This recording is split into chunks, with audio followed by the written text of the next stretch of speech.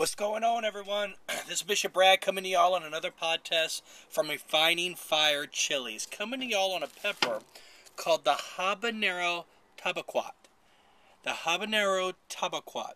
And I could be pronouncing that wrong, but this comes from the islands of Tobago, man, the Caribbean love. Habanero Tabaquite. Now, check this out. There's a little bit of history I got on this right here.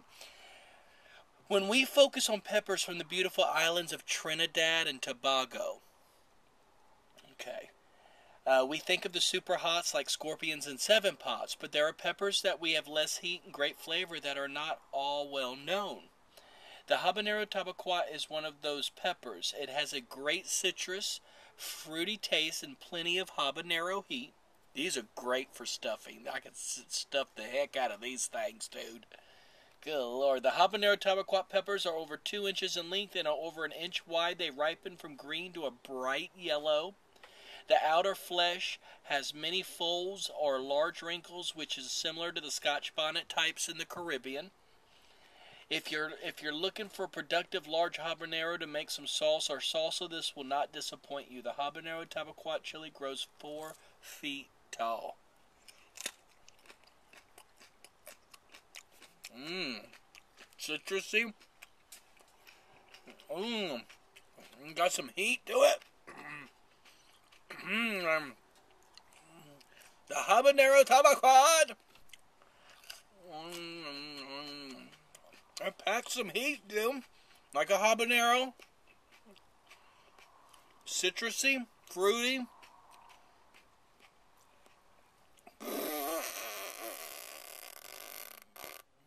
Not extreme, but that flavor, that capsaicin, habanero flavor, citrusy. Mmm. Tastes really good.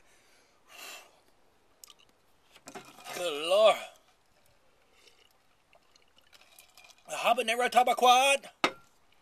Guys, y'all can go to www.superhotchiles.com www.superhotchiles.com Check out this gorgeous habanero tabaquite.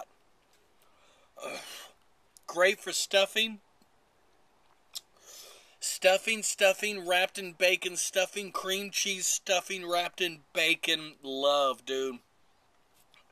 You can get your seeds from Jen Duffy at Refining Fire Chiles, man. I'm going to see y'all on the next one. This thing's lighting me up, baby boys and girls.